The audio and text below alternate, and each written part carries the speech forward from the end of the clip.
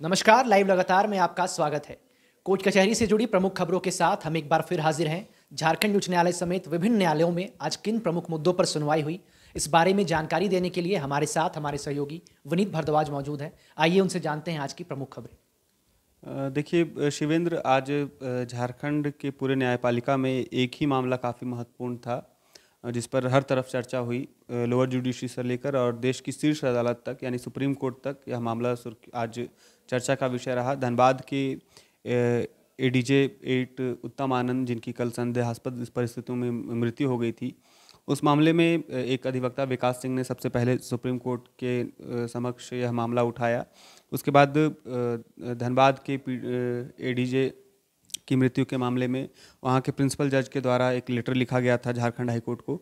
उस पत्र पर झारखंड हाईकोर्ट ने संज्ञान लेते हुए इस मामले में सुनवाई की और इस मामले में संज्ञान लिया हाईकोर्ट ने, जिसके बाद धनबाद के एसएसपी और राज्य के डीजीपी तक को तलब किया गया और झारखंड हाईकोर्ट ने इस पूरी सुनवाई के दौरान काफ़ी गंभीर टिप्पणी की है और यह कहा है कि झारखंड में और झारखंड के आसपास के जो राज्य हैं, जहाँ पर एक वक्त काफ़ी नक्सलियों का प्रभाव था, उस वक्त भी नक्सली भी न्यायालय के प्रति और न्यायाधीशों के को छूने की या फिर उन्हें उनके साथ किसी तरह का प्रतिकार करने की या उनके संग आपराधिक घटनाओं को अंजाम देने की कोशिश नहीं करते थे।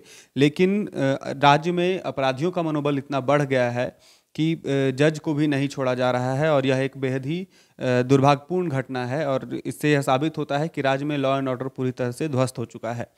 इसके बाद रेमडेसिविर मामले में भी झारखंड हाईकोर्ट में सुनवाई हुई और सुनवाई के दौरान काफ़ी असंतुष्टि ज़ाहिर की न्यायालय ने अब तक की जो जाँच हुई है एसआईटी जिस तरह से जाँच कर रही है और यहाँ तक कहा हाईकोर्ट ने कि एक प्राइवेट अस्पताल को जहाँ से रेमडेसिविर की डोजेज निकले थे, उसे बचाने के लिए रिम्स की तरफ़ अब इस पूरे जाँच का रुख मोड़ा जा रहा है। हालाँकि जिस मामले में हाईकोर्ट ने संज्ञान लिया था एडीजे उत्तम आनंद के मामले में उसमें राज्य सरकार के द्वारा महाधिवक्ता जब उपस्थित हुए इस मामले में तो उन्होंने अब तक के जो प्रयास किए गए हैं झारखंड पुलिस के द्वारा उसके बारे में बताया सरकार के इस तरह इस तरह से जो जो कार्रवाई की गई है उन सारी चीज़ों को बताया जिस पर न्यायालय ने संतुष्टि ज़ाहिर की। लेकिन न्यायालय ने ये भी कहा कि अगर कोर्ट को कभी भी लगेगा कि जाँच में कोताही बढ़ती जा रही है तो यह पूरा मामला सीबीआई को दे दिया जाएगा अतुल। एक तरह की चेतावनी दी गई बिल्कुल हम कह सकते हैं कि न्यायालय ने काफ़ी कठोर शब्दों में यह चेतावनी दी है। और एक और महत्वपूर्ण मामला था रूपा तिर्की प्रकरण से जुड़ा हुआ। इस मामले में न्यायालय ने एक सप्ताह बाद की तिथि माफ़ कीजिएगा इस मामले में न्यायालय ने सुनवाई करते हुए जो इस मामले के जितने भी दस्तावेज़ हैं, मूल दस्तावेज़ उनको डीजीपी को कहा है कि वो आप न्यायालय के समक्ष जमा करें और प्रार्थी यानी कि याचिकाकर्ता जो इस मामले में हैं रूपा तिर्की के पिता, वो अपने अधिवक्ता के माध्यम से इस याचिका की कॉपी सीबीआई को दे दे। तो ये एक तरह का इंडिकेशन हम समझ सकते हैं। ऑफ़ रिकॉर्ड ये सारी बातचीत जब हो रही थी तो प्रार्थी के अधिवक्ता के द्वारा ये बताया गया था हमें कि ये इंडिकेशन हो सकता है, लेकिन अंतिम निर्णय न्यायालय क्या लेगा यह देखना काफ़ी महत्वपूर्ण है।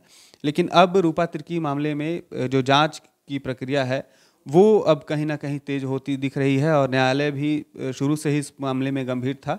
और अब अगली सुनवाई के दिन जब दस्तावेज़ सौंपे जाएँगे तो क्या होगा, यह देखना महत्वपूर्ण होगा।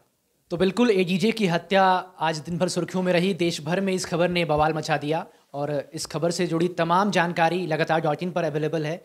और इस खबर के डिस्क्रिप्शन में भी आप उन खबर को देख सकते हैं। जुड़े रहिए लाइव लगातार के साथ। नमस्कार।